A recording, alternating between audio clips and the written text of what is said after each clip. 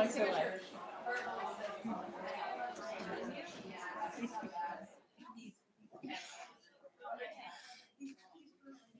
Stand over there. But she's.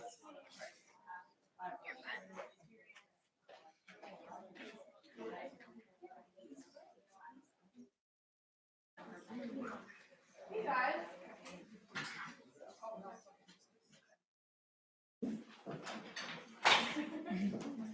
Um, so we're, if you're wondering why I'm being a little strange, we're, uh, for the first time streaming live on YouTube rather than on Zoom. Somebody's helping us and I have to stand in a very specific location. So, uh, my name is Lindsay Goodale. I'm the, uh, Proctor Extension Equine. Um, and believe it or not, I'm also the classmate of our speaker tonight, Dr. Julia Miller. We both graduated from vet school at the same time. Um, since then, though, she has gone on to greater things, and she's now a professor in dermatology here at the vet school. and She's also a secret horse person, so we're very glad to have her tonight. She's going to talk tonight about um, a couple common skin conditions in horses that unfortunately, if you're around horses enough, you'll deal with. Um, so scratches and hives, but I'm sure she'll be happy to answer a lot of other questions. She's a very entertaining speaker. Looking forward to it. Thanks, Julia. Oh, topics, topics, topics. I'll do She's- at the end. Okay.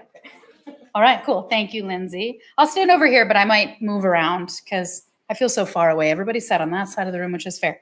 Um, so today we'll talk about two topics that we see a lot scratches or distal limb dermatitis for the fancy folks. Um, and then we'll also talk a lot about hives at the very end. But first, we'll kind of hit up scratches, talk about how we see that. So I found this picture on the internet and I quite appreciate it because I have no idea what mild horse soap is. Um, but apparently on WikiHow, that's what you use when you're cleaning a horse leg. Um, also, what I like to point out, ooh, does this work? Ooh, kind of. I'll go over here. Um, is this person wearing gloves? I mean, what kind of a horse person this wearing gloves? anyway, side note, great picture. So we're going to talk first about scratches, and scratches is really just a general colloquial term, and it only describes a reaction pattern on the skin. It doesn't tell you what's wrong with the horse. It doesn't give you a diagnosis. It just tells you what's the clinical picture of the horse's leg. Other things that people call it pastern dermatitis, dew poisoning, mud fever, grease heel. You've heard lots of different names for it, but scratches kind of encompasses it all. So, what are the clinical signs? What does it look like? Scabs and crusts is the number one thing that we tend to see. That's what most owners recognize. We can also notice some hair tufting and the tufts of hair because there is a scab or a crust underneath there. So just look closer. Um, hair loss, sometimes we can see that. That's usually a little bit further down the line. We also can see some oozing underneath the crust. That's always very fun. I enjoy the ooze. They can be painful when you touch them, particularly the red-headed mares. They don't like to be touched, period. Um, and sometimes you can see that the legs can get swollen as well. So lots of different presentations of scratches, um, but it all is a very similar look. You can see in this picture, we've got a horse that's got some notable scabs and bumps and also some areas of hair loss. And this is affecting mostly the cannon bones, but down into the pastern. And then sometimes we just see it on the caudal heel here on the back of the pastern. Either way you cut it, scratches is what we call it. The three P's are where I like to start with scratches. We all get excited about how to treat it. But the real truth is, to know how to treat something, you have to know what caused it. If you don't know what caused it, you can't figure out how to treat it. And the three P's of scratches are very important. First, we need to think about the predisposing factors. And I'm going to argue that these are the most important. Environment that the horse lives in. How many of us have dry pastures in April in upstate New York? Zero, negative 20. Um, nobody does. It could be negative 20 degrees, so you never know. Um, humans, what are we doing to our horse? We are guilty all get out of to horse. And then also the coat color. Is this a chestnut light horse or is this a white red horse? That can be different. Next, we think about the primary factors. And primary factors are things like the physical irritants. Again, what are we putting on our horse? Ectoparasites, we'll talk more about those later, different mites and things of that nature. And then certain immune-mediated conditions can be primary factors. And then finally, the place where we all get really excited are the perpetuating factors. the bacteria and the fungi. Is this staph? Is this ringworm? We want to know. But the real truth is, it's these predisposing factors that I'm going to harp on more and more. Because I don't care what you do to treat it down here. If you didn't treat it upstream, you will never be successful. So there are many causes of scratches, and we want to get into our technical terms. I like to write here that there's usually an initial wound, some form of trauma, or even wet skin. And we'll go a little more into that later. But that's usually what perpetuates scratches. All of these other things are kind of secondary problems for most of the horses. Rain rot, over here, most of us are very familiar. Ringworm, bacterial infections can happen. Allergies, including, including culicoides hypersensitivity, which is an insect-bite hypersensitivity. Environmental allergies, my most favorite. Chorioptic mange, photosensitization, vasculitis, contact irritants, chronic progressive lymphedema, and there are others. This is not an exhaustive list. So that's just to get your brain thinking about all of the different things that can cause those scabs that you're seeing on your horse's leg. There really are a lot of causes, and most of us just get focused on the treatment. So now we're going to go through a few of the different causes. This is just a picture to show what most of our pastures do look like in April in upstate New York, right? So here we have, I'm not sure if it's a pond or a pasture, very difficult to tell, um, but that's what we do with lovely horses. But what is going on with their distal limbs? They are immersed at all periods of time, right? Very hard to get them out of there. I bet you there's a hay feeder right here, um, so all of the horses are going to hang out around it as much as possible. By the way, whenever I was in practice and people said, "Look at my pasture, it's so dry," I'd walk around the corner and I'd see where their hay feeder was. And let me tell you, 9.9 times out of 10, it was a mud pit right around their hay feeder. And I'd say, "Excuse me, Mrs. Smith, the pasture's not that dry." And then we would all take a walk around. She'd go, "Oh, you're right. I understand now." So pay attention to the whole pasture. That's really important. But I wanted, this is my beautiful um, new drawing, so let me know if it's terrible. Um, I wanted to talk to you about what water does to skin, because wet skin really can predispose a lot of horses to scratches. This is supposed to be, in that nice drawing, the normal skin cells, the keratinocytes that are right here. And these are awful purple bacteria on the outside of the skin. When you have normal skin, these purple bacteria have no way of getting through into the inside of the skin where they worry us and they can cause an infection. Now, this macerated skin is when you've got the water that happens. Anybody been in the shower and you've seen that nice little prune that happens on your fingers, right? Um, that's kind of what this looks like. So these are the skin cells right here that happen and they spread apart when your skin's exposed to that much water. Now, when the skin cells spread apart, that bacteria that was happy on the outside is now very happy to go on the inside and can set up shop and create an infection. So that wet, macerated skin is what allows that bacteria from being on the outside where it's fine and doesn't cause any trouble, it can now move to the inside where it can cause lots of trouble. Next, we'll go into some specific causes. So rain rot, or fancy word, right, Dermatophilus congolensis. Does anybody know what it is? Is a bug? Is it a bacteria? Is it a fungus? Anybody? Even my vet students don't know. So fair. It's a bacteria. Very good. This is a bacteria. Very nice. So this is a picture of rain rot, and this is to show you the little dots. These are each a single bacteria, and they create sort of a railroad track-like appearance. So that's the classic appearance for rain rot. And be that it is a bacteria, that's how we can diagnose this, is we can actually look at it under the microscope and say, cool, that's what that is. Now there is a seasonality to this particular condition, right? We tend to see it a lot more in the spring and then also in the fall. Why do you guys think we see it more in those seasons? Our horses have long coats and it's in theory raining more. Now, you can certainly see this in July in upstate New York, or if you live in a tropical place, which do, um, you can see this year round. But the big thing is the hair coat on the horse is longer in the spring usually and longer in the fall, right? And it's that long hair coat that when it rains, now the hair coat gets wet, it gets matted down onto the horse's back, the back can't dry, that skin gets macerated, like that picture we just showed you, and then that normal um, bacteria that's hanging on the surface, not causing a problem, is prone to causing a lot of problems. The reason it's important to think about that is one of the key features of treating rain rot or any condition where a horse gets wet first is clipping. Clipping can help tremendously. Keeping our horses dry makes a big difference. Normally, we think about rain rot in the common location at the top line, right? It has those really nice big crusts. You peel them off and it's green and easy. Very satisfying. Again, most horses do not appreciate that you do that. And also, fun fact, this is zoonotic, which means that you can get rain rot. So do be careful. It's not a very pretty lesion to get on your finger. Um, but that is a possible thing. The other fun thing to remember about rain rot is the crusts are contagious. So unless you really hate your next door neighbor, you don't want to sweep those crusts into their pony's stall. Not a nice thing to do. You want to take those, put them in the trash, whatever you need to do, but unless you don't like them, then you can figure out. Um, middle thing here, we talk about the legs. So we can see rain rot on the distal limb. People don't think about it. They only think about rain rot on the back of a horse. But the reality is rain rot can be in many other places, which includes the distal limb, and that includes scratches. And then the third presentation, which people don't think about very often either, is actually called dew poisoning. How many of you have seen the white muzzled ponies that then end up looking very pink and having some crusties and scalies around the muzzle? So what happens to those ponies is they're out eating in the grass, it's very wet in the dewy grass, right? Then you get that macerated skin and they can get their rain rot from that. So those are the, the three presentations of trauma. Next, we're gonna talk about a staph infection. This looks pretty similar, right? Looks bad, sure, yeah, but it looks pretty similar. It's crusty, it's scaly, it's on the back of the leg. I can't tell you if this is rain rot or this is staph. I'm pretty good. Um, but I can't tell you that, right? So what I can do for that is I can do an impression cytology and try to figure it out. It's just these are very dry lesions, and that's not even very rewarding in my hands. But the point I want to make from this is it looks quite similar to ring rot. The seasonality for this, we think spring. Spring is the most common time we see staph and horses. Spring is when we start to ride our horses again. We maybe didn't wash our tack all winter, shame. Um, the horses have a long hair coat. They're sweating a lot under that hair coat. That can predispose them to rain rot, but also to staph infections. So that tends to be that seasonality. But I have seen staph present all throughout the summer, all throughout the winter. So this one doesn't have as much seasonality as the rain rot does. Chorioptes mites, fun little dudes or dudettes. Here it is. This is the Chorioptes mite. When we're thinking about these, we're thinking about draft horses first and foremost.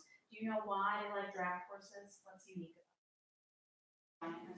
Harry. They're hairy, they have feathers, right? So they like the feathered breeds. So this could certainly be a Friesian, this could be a Shire, this could be a draft cross that's heavily feathered. Every now and again, it happens in a non-feathered horse, but that's usually not the common presentation.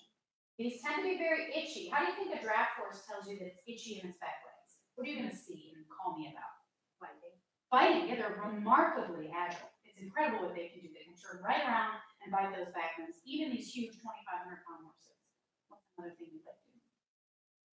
They can rub, yeah. They can also stomp. They'll stomp a lot. So if you ever go, and I don't mean to pick on the Amish, but if you ever go to an Amish farm and you're watching all of their Clydesdales or Belgians stomping, because they have Chorioptes. They all do. I promise you this. Um, so that's a pretty common thing we see. This is contagious to other animals, including you if it really had to be. It does not prefer to stay on people. It prefers the animals. Um, but if you have a goat in the area, by the way, it's always the goat's fault in general. Um, but if you have a goat in the area, it can be contagious to that, it can be contagious to your donkey, contagious to the other horses. These mites also have a really good off-coast survival. They can live in the, the debris, they can also live in your wet shavings. How long do you think they can live? You know, like a ballpark. Yeah, ninety days. That's crazy. So you treat the horse and, the, and you don't get rid of the shavings, and those little buggers are living off coast for 90 days. And that's a scary mite, right? Um, but that also makes getting rid of them a bit difficult. We do see the seasonality on these be more wintertime. And it's wintertime because everybody's inside close quarters. That being said, if you have a herd of fell ponies or a herd of gypsy Vanners, they just self-perpetuate and you're gonna see chorioptes in them at all times. But this is always on my list of, of things to think about when I have a draft horse. They are surface feeders, but they can even, when the horses itch themselves, you can actually end up with some very severe. Photosensitivity is another thing that can cause some issues on the distal on your horse. Now, there's two different kinds. Primary photosensitivity is where the plant touches the horse's leg and it's actually that contact that sensitizes the skin. Secondary photosensitivity is where the horse ingests the plant or has another piece of liver damage. The liver itself doesn't function well, and then they can't excrete the right plant parts, and then you get sort of a systemic photosensitivity. Now, what that means for us is that if you see a horse that you think has photosensitivity, the first thing I do is I check its liver values. Because if that horse has liver disease, I need to know about it and I need to treat it right now. It can be very hard to say whether something is primary or secondary, but I'm always thinking about secondary first and making sure that that's not it. And there are different plants in different parts of the world. These are some plants that are local to us. Things to think about. You do not want to see these in your pasture. Um, when we see photosensitivity on a horse, it tends to be the white-haired skin. It doesn't like the colored skin. It really only likes the white hair, and that's an important part that you're going to see. Seasonality, well, they have to have plant exposure, so the good news is you only have to worry about that for like two months out of the year. Here's some photos of a photosensitivity horse. So this horse has got some nice chestnut right there before the socks. Perfect skin. I couldn't ask for prettier skin. You get to the white part of the skin, and holy moly, that looks terrible, right? It's oozy, it's red, it's very severe. Another thing here, the chestnut part of this horse is not affected at all. And then you get to the white haired part and it's very affected. So if you see that, I always ask that question. Someone says, hey, my horse has scratches on one leg. I always say, what color is that leg? And if it's got three chestnut limbs and one stocking or sock, and it's the sock that's affected, then I'm worried about photosensitivity. Vasculitis is something that stinks, to be honest with you, but this is one of the more common causes that scratches that just won't go away. You can't get rid of it. And the reason you can't get rid of it is there can be sort of an underlying immune-mediated condition there. Um, these tend to be very well demarcated. See how sharp this is? Very sharply demarcated lesions. They can also go deeper. You can see the skin almost peeling off of this horse here. The limb can get swollen. These tend to be a bit more severe in nature. But I will throw this out as a differential for that pesky scratches that you just can't clear up. It could be vasculitis. Now I say call your vet because this is going to require steroids, whether they be topically or if you put them in the horse's mouth, that's fine too. But you're going to want a vet to look at this to decide that that's what you need to do for treatment. A biopsy of the area is certainly something that's recommended before you treat this. This is another cause that is often forgotten. Chronic progressive lymphedema is just fun to see. It's really not fun for the draft horse. Poor draft horses, they've got it hard. Here they are again. Um, this is really a condition that's only affecting the draft horses, lucky to us. Often the Shire breeds, but Belgians can do too. And what happens is the lymphatics of the leg are supposed to kind of drain the lymphatics down here, and then they pump them back up and shoot them out. But what happens in these draft horses is they lose the ability to shoot all the fluid back out of the leg. So it gets trapped in the leg. When the fluid gets trapped in the leg, you end up with this very sort of corrugated cardboard-like appearance. Have you guys ever heard the term grapes? These horses will get what's called grapes. So this is a long, progressive process. As you can see, it's very nasty here. This is a horse in Georgia. When it gets to this point, I can do zero things for this horse. There is no treatment, unfortunately, for this condition. Um, and it goes missed for a lot of years usually. And why is that? There's feathers covering those legs, so most people don't even see if you are an owner, breeder, lover of the draft horse, I highly encourage you to palpate back there and, and check the legs and make sure they feel normal. Catching this early is helpful because diligent man, diligence management is critical. They're very prone to secondary infections. They probably all have Chorioptes mites, like we talked about. So if you can treat those things and get on them ahead of time, you actually stand a better chance of prolonging that horse's life. This can be a euthanizable offense, honestly, in the right horse, unfortunately. So what do we do? This is my little Miller, um, the side eye that she's very famous for. So what are we going to do about scratches? We saw these really cool causes. The nice thing is we have a lot of treatments that are going to work to treat any of these causes. I just wanted to make you aware that there's a number of different things that, that do predispose them. But the good news is you guys can treat with a lot of the same stuff. And Sybil agrees. So environmental management is critical. This is everything.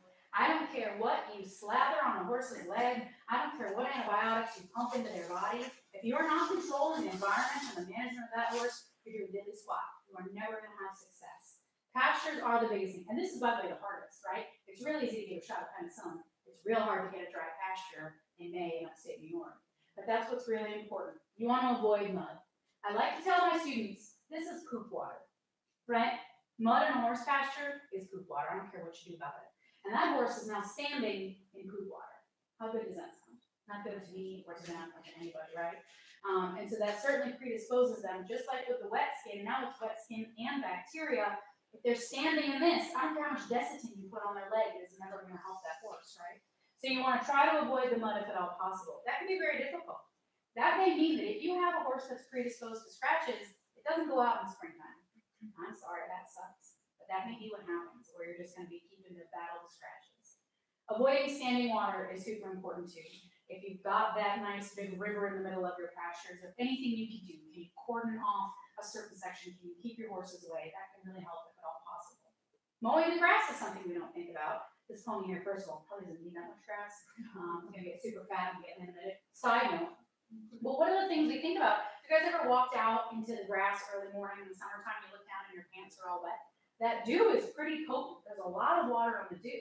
We love to let our horses out in the morning and the evening when the dew points out. So if you really have tall grass, then they're essentially bathing their distal limb the entire time they're out mowing the grass down for you, and that can actually predispose them too. So keeping your grass nice and short so that the dew is not all over the legs can make a big difference in this too. Plus, it's good because most horses don't eat that much grass, right? Obesity is a problem. And then removing manure, that's nobody's favorite thing to do, but it really is a useful thing, not only for the distal limb issues, but also for your strongyles, your other intestinal parasites, right?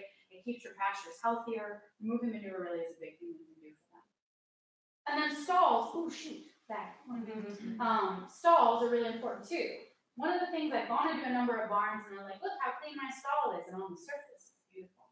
But I grossly dig underneath the straw, or I grossly look underneath all of that shavings, and it's just an ammonia wet bath under there. So remember that you have to clean that stall thoroughly and to the base and keep it clean regularly. Um, because if you have a horse that's taken out of the mud pit, but then into a nasty, thick um, straw stall, that's not actually going to help that horse very much. And you don't want to bed them too deeply. Air is your friend. You want the horse's limb to get exposed to air. And so by doing the, the bedding a little bit more shallow, that really helps us keep the air there. And then now, clean and dry. This is the mantra for all things with distal limb issues with horse. And this is the most important thing. If you do not get this step, I don't care what you do next. It's not going to help anybody. Horse management, also super important. Clipping the affected areas can make a big difference. The thing is, don't go hog wild with your clippers and cause a bunch of razor burn, right? You go the next day and your horse is all swollen. You just need to clip the big hairs off. That's the big thing, right? But clipping the area can make a big difference so that you don't get all that wet hair macerating skin. You want to clean and dry the skin anytime the horse gets wet. Who likes to bathe their horse? It was like one of my favorite things in the world to do. Yeah, I loved it. I did all the time. Now, where do we sweat scrape a horse? Where do we sweat scrape a horse? Body. How many of you sweat scrape the distal limb? Good for you. Not many of us do a very good job with that, right? Especially when you have those like metal scrapers or like hand going, like, oh, that hurts. And a lot of horses don't like that. Most people that bathe their horses pay attention to the knee, down to the knee, and then they stop paying attention. And then they put that horse out in the grass, and they're like, oh, you'll dry off eventually. Well, again, I'm going to mention upstate New York, we're in a tropical place. They'll dry off four hours later. They'll be dry. But that four hours is enough time for that skin to get damaged enough to predispose them to a bacterial infection. So don't forget those distal limbs when you bathe a horse. It's really important that you dry them off. And this is not every horse every time. These are the horses that are predisposed to scratches. But do pay close attention to that. You also want to have nice, clean boots and tack. That's really important, right? Our SMBs, they don't wash all that well. We know that. Um, but it is important to wash them because if you just went through all the poop water and now you're putting the nice muddy boots back on the horse's leg that's already kind of irritated, not going to help there. And I also say here, and I mean this very thoroughly, do not share. You do not know what that neighbor's pony has, okay? Don't share it. It could have ringworm, it could have rain rot, it could have everything. Just so also know, there's always one pony that carries the rain rot There's always one. Don't share. That's a life lesson. Keep it to yourself. The other thing I like to show everybody is don't scratch scratches. Who is a picker here? Oh no, it's really bad. Don't be a picker. I know that it's very hard, but in general, you should try to let the crust kind of come off on their own. If one's coming off on its own, that's fine. You can remove a little bit of it. But nothing pains me more than I walk around in the spring in a barn and I see all the girls in their breeches, or boys, you know, in their boots and their breeches, and they're down there with their curry combs going up just a limb. And then the next day, I see all the horses hobbling out of their stalls, limbs swollen up, and they go, "Oh, it's just the scratches he gets every year." Breaks my heart. What you've done is you've taken that bacteria that was on the outside, not so happy, you shoved it deep into the leg. And those swollen legs are what's called a cellulitis. They're bacteria and they're inflammation deeper in the skin. And you have only got one person to blame for that, and that's yourself. So don't scratch scratches. I don't want you to go crazy with the curry comb. If the crusts want to fall off, perfectly fine, but don't get in there and go too crazy with these.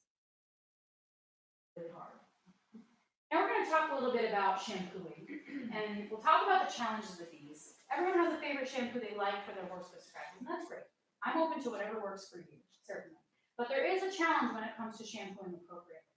So what are our principles? First, we're going to want to clip the hair coat. We know that that's important.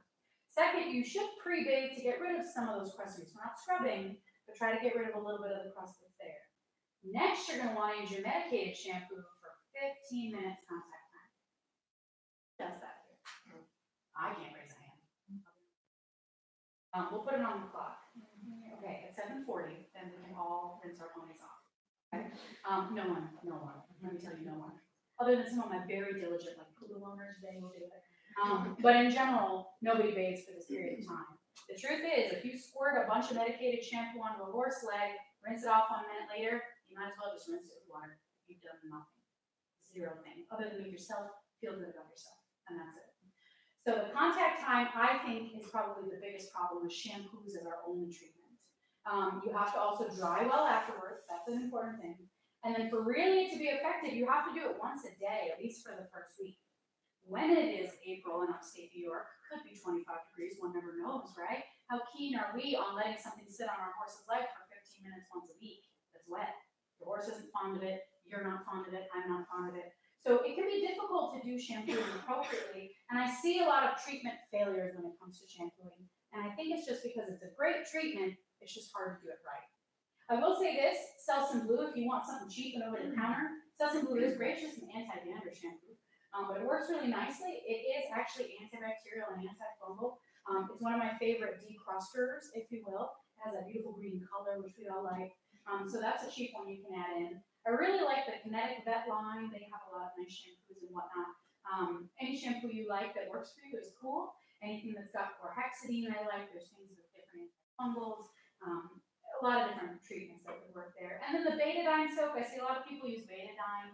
Um, I'm okay with that. That works okay. Um, it's just it, sometimes with the white horses it's not as good. But you like it? I'm open. Got Micro-Tek. Sure, yeah, I like Micro-Tek shampoos, absolutely. This though is my magic. Okay. So lime sulfur dip, who's heard of it and who's smelled it? Um, but here's the magical wand, is this truly is God's gift to man. Um, it's a wonderful, wonderful product, and it does it all. I call it LSD because it's trippy how good it works. That's how you can remember, it, right? Um, it smells like rotten eggs. It will tarnish your beautiful jewelry, so do be careful with that. I have to wear gloves because I'm actually allergic to it, but it's still worth it. I would put on a whole Tyvek suit to do it if need be, um, because it does do it all. This is going to treat bacteria. This is going to treat ringworm. This is going to treat other fungi. This is actually going to treat those disgusting Chorioptes mites that we saw. They hate this stuff. It's going to remove your crust, and it can actually reduce inflammation and itch in the legs too. That is like the most bang for your buck. You can't get anything else that has that much bang, and it's dirt cheap, as my mother brings up. Dirt cheap. This bottle, this little guy, is usually only eight bucks. You can get like twelve treatments out of that. I mean, that is what is better. Now, the smell is horrible, but that's how you know it works, right? When the smell is that bad, something good's got to be going on. But there is an important thing with the technique here. By the way, it's over the counter. You don't need a prescription for this. You'll tell the vets that I told you, um, but that's true. The pre-washing the area can help you, but you don't have to. But getting off some of those scales and crust can help. I put here dilute to three to four percent. That's critical. I I love horse people. They say, hey, if a little is good, a lot is better. Um, not the case with lime sulfur.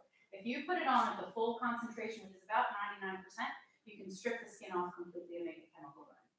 Quite a few animals actually die. So it's, it's a serious thing. You do not want to put it on the full strength. But when you dilute it to 3 to 4%, fantastic. The other nice thing is on the bottle, it has dilution instructions. You don't even have to do math. It's right there for you on the bottle, easy to do. You want to spray or sponge it onto the affected areas, whatever works for you. You just want to get them soaking wet. And then you do not rinse off. This is a dip. You leave it on the horse. Now, if you have that beautiful horse with white distal and white feathers, it will stain it yellow. So maybe don't do it the day before your, your big show. That's something to think about, right? It will stain it yellow. Um, the staining does go away, I promise you that. Um, but that's something that you'll see immediately. And then I like to do this daily for the first four to five days, and then I go to once every seven days after that. Now, if you have a horse that's prone to scratches, it might just get its once a week lime sulfur spray for the entire spring, fall, whatever you need to be. And that's okay. You're not going to cause any harm by using this product with some regularity. So I really enjoy it. The other thing I want to say here is you want to treat it past resolution. Don't just say, oh, he looks a little better, I'm going to stop treating. No, I want him to get better, and that can take time. That can take three, four, five, ten treatments. It really depends on the horse. So don't forget that you may need to treat these guys for over a month, even two months to get full resolution. Don't give up. I promise you it's worth it. Ointments and creams, we all have our favorite one, and they can be useful, but you do have to be careful with these. The times you don't want to use ointments, anytime that you've got a lot of oozing on the leg, because the ointments are going to hold the moisture in. Also, if you've got a really furry leg, the last thing you want to do is hold moisture in that. You have to clip before you use these. Um, and like I said, anything that's oozing, you want that ooze to come out. That's the body's response. So you don't want to pack Desitin on there so that the ooze actually can't come out. You're likely to get a deeper infection. So my mantra there is, if it's oozing, no ointment. okay? It's okay to use ointments to protect the limbs for some early lesions, um, but in general, I'm not a huge user of these, be honest. Things that I've seen people use, diaper rash cream, and ointment, Corona ointment. Again, if you like it and it works for you, that's okay, just be careful with that one. And then there are prescription creams, silver sulfadiazine, this one here is a lifesaver. I'm Pretty sure it fixes diabetes, it's that good, I don't even know. Um, and then mupirocin's another one. Now, these are veterinary prescription products, but if you have issues, that might be something your veterinarian recommends. Other over-the-counter treatments that are there, and there's a variety, right? So MTG, much like lime sulfur, just not as good, in my opinion. Um, greasy, when I was in South Carolina, everybody made their own MT, MTG. They took the bacon grease from the kitchen and they added sulfur granules. And I knew that I was an MTG barn, so I was like, it smells like a rotten breakfast in here. And I was like, oh, you're using MTG, no surprise. I'm like, oh, that bad, that's excuse. So, um, it was pretty wonderful though, so I always knew. Now, I'm not mad about it, that product works pretty nicely for a lot of horses. I just think lime sulfur is actually superior, so that's why I recommend it. The Vetericyn product, this is a really nice company. Vetericyn has a lot of over-the-counter products, they work very hard, they actually use bleach products.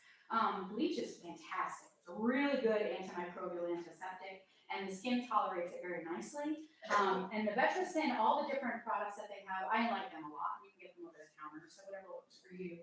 And then, of course, I always hear people talk about, you know, Miss Sally's famous brew and the blue stuff, the purple stuff, that green stuff. Everybody's got their favorite slather that they put on a horse. And I'm okay with you having a favorite slather. That being said, if you put your favorite slather on, you're like, no, doc, my horse is just getting worse and worse. Remember that topical reactions are possible. Maybe your horse doesn't like the blue stuff. It's actually not good for the leg. So if things are not getting better, you need to stop what you're doing and think that you could be causing that harm. So be careful of that. So when are you going to need to call the vet? It is important to know when you have to. Obviously, if you see this leg, you should be like, ah, it's not good. I'm not going to put corona ointment on that. Call it a day. Um, if anytime it looks really bad to you, this is a very deep ulcerative lesion. This is a nasty vasculitis case. This horse actually lost its. Um, so not something you want to mess around with. You don't sit on these. If it looks like this, you call the vet. If the limb becomes really swollen, you call the vet. That could be a number of things, including distal dermatitis. That could also be other things. If your horse is lame, plain old scratches rarely causes lameness, right? So if your horse is lame, always you should talk to your vet. Um, but this is something you want to consider there, and I mean quickly. But then I also say if it's not improving in seven to, to ten days, that's a short time frame, right? But if you've been doing what's always worked in the past, and we're now a week, almost two weeks into it, and it's not getting better, just give your vet a ring. They might have an idea of what you can do. You can get your spring shots at the same time. How nice, right? That works for everybody. So what your vet may recommend, there is a whole lot we can do to diagnose what's going on with the leg. They may recommend all of this, they may recommend none of this, that's kind of up to what works for them. So a skin scrape is what we're gonna do to find that Chorioptes mite, we wanna find that little bugger, so we might recommend that. Surface cytology is how I know if I've got a bacteria or maybe even a fungi, might recommend that. Bacterial culture tells me if it's a bacteria, what bacteria is it, what antibiotic can I use? Bacterial resistance to antibiotics is a very real thing, we see it all the time, so they may have to do a culture to see what we've got going on there. A ringworm culture is something we do with some regularity, because if it's ringworm, yes, that's treatable with lime Um, if it's ringworm, we want to treat it a little bit differently. Skin biopsies, that vasculitis case I showed you earlier, even I have to biopsy that. We biopsy that to know what's going on. And then they might recommend that instead of doing all these things, which are wonderful and I love them, they might recommend that you treat on your best, your best first guess, and that's okay. Oral antibiotics might be recommended. You know, everybody's seen the white SMZ pill. That works pretty nicely. I don't recommend you use it though if you don't need to, right? So make sure that you you kind of exhausted all other routes and you called your vet about that one. If you have some leftover in your barn, don't just toss it at every horse that has scratches on their leg. Not appropriate antimicrobial stewardship. Um, they may say that you should change your topical antimicrobials to something stronger, something prescription. Or they may recommend topical steroids. For those vasculitis type cases, steroids can make a big difference. All of these things are things you want to chat with your veterinarian about before pursuing. And they may recommend, oh, the fantastic thing, which almost never happens, referrals for dermatologists. I love seeing the cases that nobody else can fix. It's kind of my favorite thing in the world, right? Um, so if you've got that case, it's really hard. You've had your vet out 40 times, say, hey, what about a dermatologist? I'm so happy to see you. We'd all be happy to see you at point out. So that's and then a mantra, it's a life mantra, right? If at first you don't succeed, you've messed something up. The definition of insanity, right, is repeating the same thing and expecting different results, right? So if your treatments that should be working are not working, you've missed something. You need to do more diagnostics. I say exactly this to all the veterinarians. I say it to the veterinary students. It sounds like a really basic thing, but it's like banging your head against a wall. Don't keep banging your head against the wall. Find a different wall. You know, figure something else. Next, oh, I wanted to just show you all the mantras, right? So clean and dry, cleanliness is next to godliness, important. Don't scratch scratches, very important. If it's oozing, no ointment. Unsalted dip is just jam, it's the best ever. And then if at first you don't succeed, you messed up. Call your vet, okay? Um, and again, I say the same thing to veterinarians, but that's really important. Um, if at first you didn't get it right, that's cool. We have other treatment options we can try for you. Next, we're going to talk about one of my favorite subjects, which is hives. Um, this is just a fun picture. I'll show you a billion more. So the fancy word for hives is urticaria. Horses are hive machines. It's like their favorite thing to do. Um, cats hate making hives. Horses love making hives. So what are they? They're right. They're raised, soft swellings. They're usually kind of round in appearance, and they have a flat top. When you touch them, they're often kind of squishy or boggy. They can be donut shaped. That's a common thing that horses will do too. They're usually anywhere from half an inch, but they can even be all the way up to eight inches in diameter. That's big. Um, like I said, horses love to urticate, so that's one of their favorite things. They can be itchy, but they're not always itchy. So some horses are covered in hives and just sitting there eating their hay. Other horses have five hives and they're ripping themselves to pieces. And they can be anywhere on the body. How do you know if it's really a hive? This is a fantastic question, and the one I always ask everybody. The beauty of a hive is that it needs to disappear in 24, 48 hours. It's an immediate allergic reaction, and then it goes away. So, if you've got the bumps on this horse right here, and I'm like, ooh, are these hives? I don't know. What I recommend you do is draw around one of the bumps with a marker, right? Because that horse could get rid of one hive and replace it with another one very close, and then go out the next day and you're like, I don't know, is that the same bump? Is it a new bump? I can't tell you. Well, now that you've drawn around it, you can tell me if it's the same bump or a new bump. If you go out and that bump is still there after 24, 48 hours, that is not a high. okay? If you go out and that bump is gone, even if there's new bumps, that was a high, and then you can say, okay, great, I know what's going on. So just to show you some fun pictures, they make beautiful patterns, just very lovely, frightening looking. This is actually a horse that has what's called cold urticaria. Every time he goes out in the cold, it gets. Wild, right? Uh, another great hive maker. This horse was not itchy, weird, looks like it should be. My favorite urticaria, which is very rare and nobody really gets to see, is called urticaria, and that's this. You see these beautiful little stripes there, cool thing to see. And then another thing to bring out, a lot of horses will sweat after they get hives. So this horse actually doesn't have any hives left, they can be very, very sweaty after the fact. That's a common thing you'll see. So what causes hives? This is the big mantra and it rhymes, isn't that nice? Food, bug, or drug. Food, did you get a new shipment of hay, right? Is it a new bag of grain? Did you switch grains? Um, is it the same hay, but you're storing it in a different location? Anything that's going into the horse's mouth, we're calling food, right? Bug, is it a true hypersensitivity to a bug, like a culicoides hypersensitivity? Is it a single hive from a single bug bite? Who cares about that in all reality? Um, but you can definitely see um, bug bites cause some issues too. And then the big stingers, the, the flying aliens that we like to say, um, those can certainly cause hives as well. And then drug. Now, most of us, when we think about drugs, we're like, oh, it's like an antibiotic or something going into the body.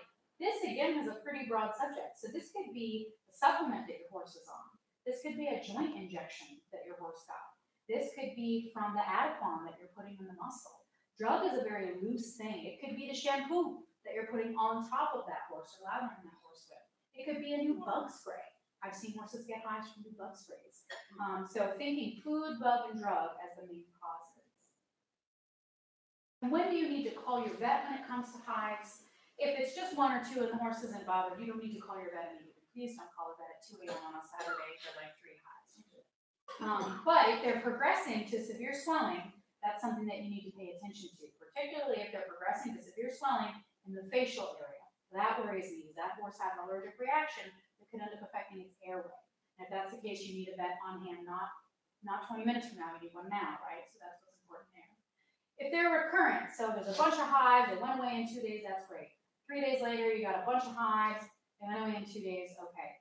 Four days later, you got a bunch of hives again. Call your vet. You're missing something. You need to do some more diagnostics and figure that out. if the hives won't, oops, if the hives won't go away, now, is it that bump that doesn't go away, AKA, is it not a hive? That's the question. Um, but certainly if they don't go away, you wanna get your vet there. And when I, I say don't go away, 24, 48 hours is usually what I, the amount of time I'm going to give them. And then if the hives begin to ooze, crust, and become painful, unfortunately, horses will sometimes get such bad hives that then they actually exude serum out of the hives. Then that can crust up. That's a great bacterial mediator. It's like a petri dish. And then you can get a secondary staph infection. You got to call your vet when that happens. So if you said, "Hey, my horse had hives four days ago, and now he's losing his hair, his skin is painful, there's crust everywhere," you want to get your vet out to see what's going on. So what are we going to do to treat hives? The biggest thing, if you can, and this is not easy, is find and eliminate the underlying cause. And this is where you have to be a little Sherlock. That's what's really important. Is there any new variable in this horse's life? Did you change from SmartPak to platinum performance pack? Would really be enough? Like I said, they love to eat hives. Is there a new hay? Did you get it from a new source? Same source, different field. Is there anything in there? Grain, new grain, different grain, new bag of grain. Bedding. Did you change your bedding? That's a common thing I see some horses do. Your turnout is. What's your shampoo? What's your tack? Did someone bring a new barn maid in and what did they bring with them? And then of course, like we talked about drugs and all of the things be things. So go in there, be a Sherlock, sit down, write things down if you need to. I find that that really helps and see if you can figure out what's different in that horse's life. If you find out what's different, great. Go back to the way it was before. Hopefully that will get rid of your hives. Now let's say you can't find anything different or you change back to the way things were and your horse is not getting better that's when we start thinking about Band-Aid treatments, right? So the Band-Aid treatments we have include antihistamines. These do work in some horses. Good old Zyrtec here is a pretty nice one. Um, it's affordable, which is good. Get on like Amazon.com, so that's one we highly recommend. Hydroxyzine is another one that works well. Granules, when you can find them, work great. But the big thing I want to say here, if you're in a sanctioned competition, they're illegal. Antihistamines are illegal.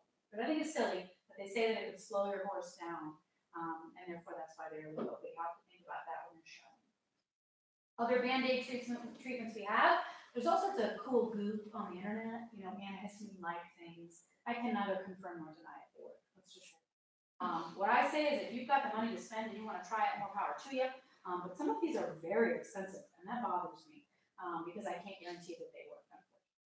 Omega-3 fatty acids can help. Platinum Performance, for example, makes a skin and allergy supplement, which is high in omega-3s. That can help, and it's something I often recommend people try, but it's usually not going to be the end-all be-all. Smart Itch also, or SmartPak also makes a Smart Itch Ease. That's one. There are also topical anti-itch medications, products that contain steroids, hydrocortisone, or sometimes pramoxine, which is like an analgesic. That can help, um, especially if you've got an itchy horse. And then under veterinary guidance, steroids are a great band-aid treatment for hive, right? Hive is an allergic reaction. We want to calm the immune system down. Steroids are the best thing we have to do that. Now, again, you want to do this under veterinary guidance. Steroids can be dangerous to horses. Anybody know what a high dose steroid can do to a horse? Tendonitis, yeah, it can make them walk right out of their feet. So you do have to be very careful with that. That being said, if I've got a horse that's covered in hives and is progressing to not being able to breathe, give it steroids. Give it all the steroids because you know they can't so that's very important. The other thing that we can do when you've got a high horse, you've gone through all those things, they're not working. What can your veterinary dermatologist do for you? As it turns out, I can do so much, right? Um, so diagnostics are what I can offer you. Diet trial, that sounds weird. Horse diet trial, what are you talking about? It is weird. Um, but this is something that I've done. I've changed grains. I've really sat down with a client and we talked about the hay sources. We've had the hay tested. Um, so diet trials are things that can help out here. And then intradermal skin testing, which we're doing on this cute little mini right here, is one of my most favorite things to do in horses. It's something I do a lot for the urticating horse. So this is a picture of an intradermal skin test. So what we do is we inject the allergen directly under the skin. And these are hives. We did that on purpose. And we want to see the horse make a hive. If I inject the allergen and the horse makes a hive, that tells me, cool, that horse is responding to that, is allergic to. This is a very big reactor. You can see there's a few bumps over here that didn't do much. It did not react to those. It's reacting to a lot of other things. Um, what we do with this is I say, okay, now, and we test them, by the way, for here's 60 things. I do 60 injections. As you might imagine, they a little sedation. I don't care how good they are needles, even if they're it. Um, so it's important that they get a little sedation. We do this, we read the test. We actually have you guys read the test twenty-four hours and forty-eight hours later. You tell me if a bump showed up, so it's a nice group activity for everybody. Um, and then at the end, we say, okay, here's a list of things that your horse is allergic to. What can you do about it? Now, the thing is, everyone says, oh, great, I'm gonna avoid what they're allergic to. So how do you avoid ragweed? Actually, better yet, don't tell everybody, just tell me. We're gonna have a proprietary conversation and we'll get very rich. Um, because there's literally no way. If you can figure that out, we can solve many allergies. So unfortunately, avoidance can be very, very difficult, and that's often not why we do these tests. I have had a few horses, for example, that were alfalfa allergic, and I pulled them off of alfalfa and fed them very expensive Puritan life around. So every now and again, we do get something in a horse that's avoidance, but in general, avoidance is not possible. So what do we do with this information then? We want to do immunotherapy or the allergy shot. What we do here is we desensitize the horse to what they're allergic to, just like people. People get this shot too, by injecting into them what they're allergic to. Now, dogs and cats, it works decently well. It actually works really well in horses. I have great success with this. Um, I can see results in as quick as one to three months. In a dog, it can take a year. It really can take that long. Horses, when it works, it's going to work, and it's going to work pretty quick. As far as cost goes, this is nothing. This is a very cheap thing to do. We cost about four hundred dollars for the testing. Your first vial for the immunotherapy is going to cost you another three hundred, but that's going to last you eight months. Seven hundred bucks to treat your horse. That ain't bad, right? When it comes to a horse. So when you're talking about things that are cheaper in the long run, the allergy shot really makes a big difference. This is something I do a lot of. I really enjoy doing it. I've had great success with horses. Anecdotally, I've had some success with Kiwi horses as well. We wonder if there's a component of allergy with the Kiwi horses, and I've had some that have responded really nicely to immunotherapy, others who doesn't help at all. But to me, if you can spare a steroid, you should spare a steroid. Um, it's a very easy shot to give. She's actually giving a vaccine. It's much easier than this even. Um, we just use a teeny little TB syringe. You give it under the skin. I encourage you give them a carrot and you give it to them. Life is good. Um, so that's something we do quite a lot And so that's pretty much all I got for hives and then for scratches. This is our cute little Minnie who's doing beautifully on immunotherapy, by the way. Um, had a lot of really nice reactions. We can even do it in tiny little critters. Um, you know, you have to be careful of what the hay source is sometimes and also it's a fat pony. Um, but if you guys have any questions about scratches or hives this point, I'm happy to take them. So my mare, um, by definition, has the scratches. It, it starts out, well, it starts out with a bump, and then they ooze a little bit, and crust, the hair is in it, so you get the tufts. Yep. And then I can either catch it or they fall off, and then you've got like a little circle, um, maybe a pencil eraser size up to a dime size of skin, pink skin, like almost, and there's no blood, but you can, it's right down to your flesh.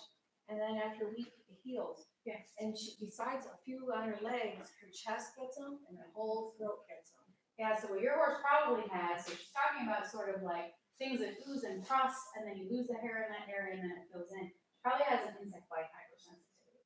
That's a classic pattern. She's getting bitten by those insects. She gets a small hive in the area. The hive oozes. You might get a little bacterial infection or not. It rips the hair off when it comes off, and then it gets better. So she you just need to be better about fly control. How easy is that? And that's usually early Yeah. spring, so is it Sure. something like just put spot on her? Or- well, I think a few things you can do, keeping them in at the prime bug times makes a difference. Good fly spray, she'd be a great candidate for a neck and chest fly sheet. Um, you know, the sleazy kind of sheet can make a big difference to them. And that's what I would first do is try fly or and see if that can make a difference there. I have a mini donkey.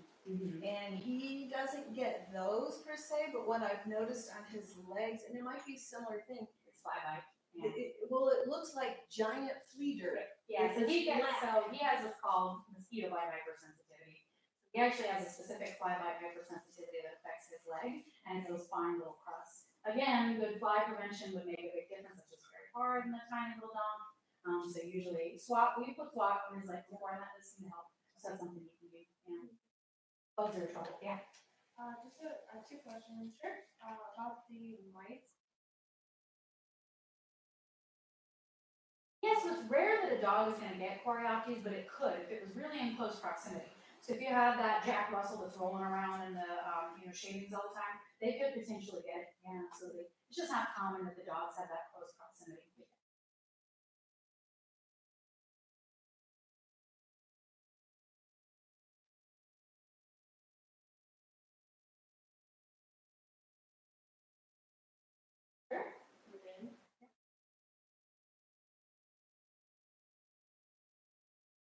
Cows are much better at surviving than horses in general, right? So horses like to die, cows like to live, that's just a true story. So you could have a cow live in a pot of poop and it wouldn't matter, they'd be fine.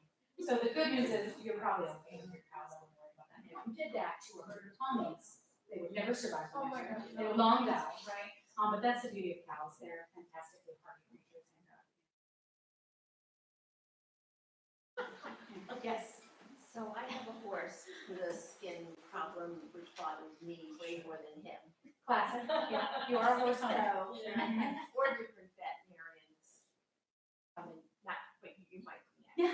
You go through four vets, you haven't come to me. I- Shame, shame on you. I wasn't, I wasn't told, but That's Dr. Smith did come out oh, good old Mary. and looked at a chicken. Oh, yes, I- sounds. And I asked her while you were here. Sure. Check this out. So I have a gray horse Uh-huh. and as, um, it's undiagnosed. It's called a non-specific dermatitis, but it has to be something I just refuse to accept. So that's Non-specific. That's a cop out. Yeah. It is, that. I agree. so there are, there are black, black dots Okay. on his, all his legs Sure. and it spreads. Okay. It's, I saw a new one yesterday under his neck. I examined him very close, carefully. Are they flat or are they raised? They're Okay. little teeny weeny black, like the head of a pin. Sure. And on one of his, the cannon bone of his hind leg became irritated and very pink. Sure. And that was worrisome and I actually, um, cause it's so troubling to me. Yeah. It doesn't itch, he doesn't bother with it, it's nothing, um, I keep his legs clean, I've used lime sulfur dip for weeks. Um, It doesn't go away ever, it's, he has it in the winter, he does grow a thick coat, but I can still see these bumps and what the heck is it? Yeah. You know, and, and it's spreading. And have they been biopsied? Have you sent pieces? Not yet. Yeah, He so- won't trailer, he doesn't, I can't, I don't have a trailer, he won't even, like, get it, I mean, I Oh, don't, shame on you. I mean, come on. I know, I haven't seen a truck, um, I don't have, Yeah, so And that's a so- great question. So pictures are helpful to us. There are times when even we, as a dermatologist that see everything every day, need a biopsy to know what it is. I- My thought would be papillomavirus, to be honest with you. I bet he's got papillomavirus. Um, and that can present in odd ways. It does a lot of weird things. There are nineteen papillomaviruses in a horse. Isn't that fun? Um, so there's a whole lot of them. And we've seen them present with little black bumps before. There's also other weird hair follicle tumors that they can get too. So there's some odd things out there. And I think a biopsy would probably be the best way for you to know what's going on. I'm happy to look at a picture. Um, I just may not be able to, to know that answer. do you make house calls? We do not usually, unfortunately. Now, Mary Smith, I might be able to get one of our ambulatory people out and advise them on how I would collect the sample, so they might be able to help you out for sure. Yeah, we've also got a couple of others that are really quite good, Sigmund and a few other ambulatory practitioners that I like a lot, and I chat with them, and I can say, here's a picture of the leg, when you circle what I want you to do, I'll walk you through how to do it. Well, that Um, so great, that's so I have to know. Yeah, yeah. I do, I. I- Knowledge is power, I understand, yeah, absolutely. So I can look at the pictures after and see if anything comes to mind, but it may be that we talk about a biopsy as far as the next step. And that's okay, you know, that's, that's a great way to get a definitive diagnosis.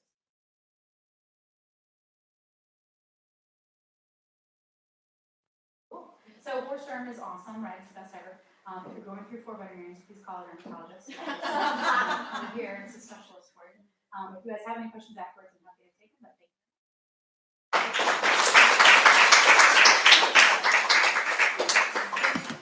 you very much, Julie. I also just wanted to plug our talk next month, it's about donkeys, so. Um,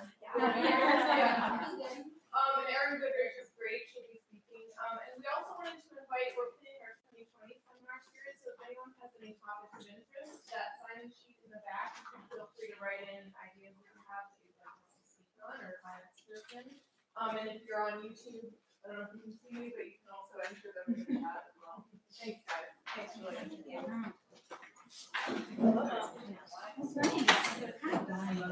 Oh, no, I need one of. In the, the.